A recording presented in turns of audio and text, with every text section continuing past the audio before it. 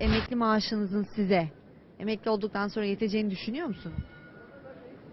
Biz Türk milleti olarak şükreden bir millet olduğumuz için yeteceğini düşünüyoruz. Devlet baba bize ne gün görürse ondan yıllardır, asırlardır yaşamışız.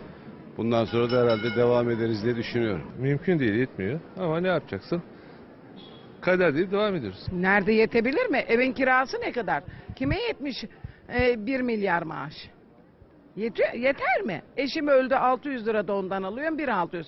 Ver 600'ü kiraya kaldı 1000 lira. Hani elektrik hani su hani kablolu yayın. Hiçbirisini yaşamazsak yeter. Bireysel emeklilikle ilgili bilginiz var mı? Duydunuz mu?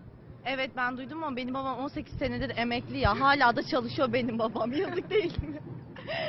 Bireysel emeklilik iyi bir şey. Keşke biz de emekli olabilsek. Vallahi babam paşa paşa yaşıyor hayatını ya. Siz anlatırsan öğrenirim. Var ama net olarak bilgim yoktur. Paranın caiz olmadığına dair bazı söylentiler var. Tabii bunun da İslami e, yönden açıklığa kavuşturulması lazım. Ben kendim emekli olduğum için ona gerek duymadım. Kendim 65 yaşındayım ama bilseydim zamanında yaptırırdım. Üçüncü bir emekliliğim olmuş olurdu. Emekliyim.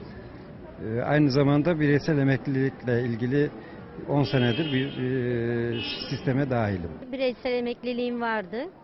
Aldım başka bir şeye kullandım. Toplu olarak alıp kullandım. Sisteme katılmış olsaydınız bir ikinci emekli maaşınız olacaktı. E, süper olurdu tabii. Doğru ama e, onu ödemek için de e, imkanların olacak ki ödeyebileceksin. E, o da tabii yok. E, böyle devam ediyoruz. Düşünmedim de yani ileride düşünmediğim için belki pişman da olabilirim yani.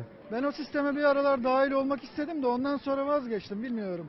Paramı da verdiğim kadarıyla geri alamadım. Ağzım yandı. Hanım bu sistemin içinde. Ee, halen devam eden poliçeleri var. Ödüyoruz.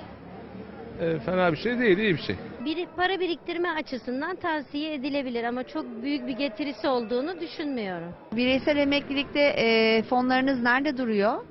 Ee, Banka değerlendiriyor.